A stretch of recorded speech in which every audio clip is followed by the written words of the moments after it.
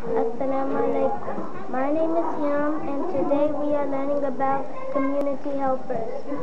I am a police officer and the mayor is Yusuf and today we are and today we are we have a, a super Tarbia town and we go shopping.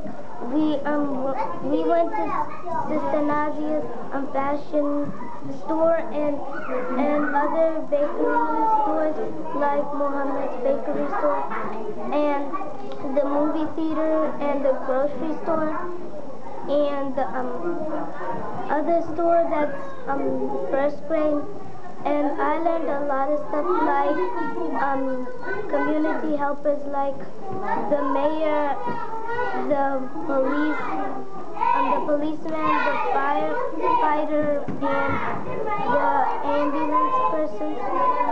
Those are the um, community helpers. Assalamu alaikum.